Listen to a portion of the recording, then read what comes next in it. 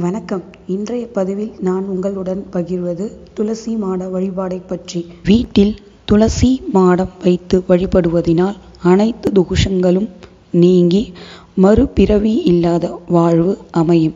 அது மட்டுமின்றி கந்திஷ்டி போக்கும் மன அமைதி கூடும்.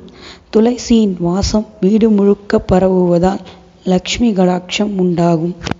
வீட்டில் ஈசானி மூலையில் துளசி மாடம் அமைக்க வேண்டும். அப்படி இல்லையென்றால் வடக்கு புறம் அமைக்கலாம். அதுவும் இடவசதி இல்லையென்றால் வீட்டுக்கு நேராக மொட்டை மாடியில் துளசி மாடம் வைக்கலாம்.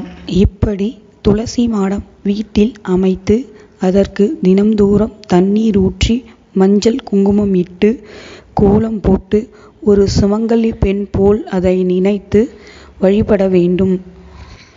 கோயிலுக்கு செல்ல முடியாத சூழ்நிலையில் கூட துளசி மாடத்திற்கு பக்கத்தில் அமர்ந்து மனதார வேண்டி வர நமது எண்ணம் நிறைவேறும் மன அமைதி கூடும்.